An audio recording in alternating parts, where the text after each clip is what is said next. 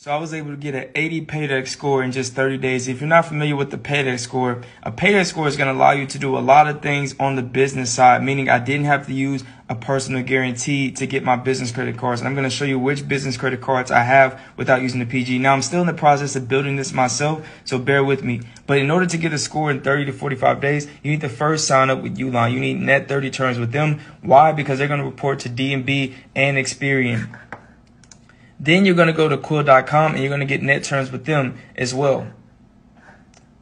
Also, I didn't mention that you're going to pay for NAV. So when you pay for NAV, they report as well. So that's one trade line, that's two trade lines, that's three trade lines. And then you're going to come to Crown Office Supplies. And then that's four trade lines. And then I was able to get $1,500 um, from Capital on Tap. That was with no PG, and I just got two thousand dollars from Lowe's. Now I'm gonna go with Amazon and Sam's Club.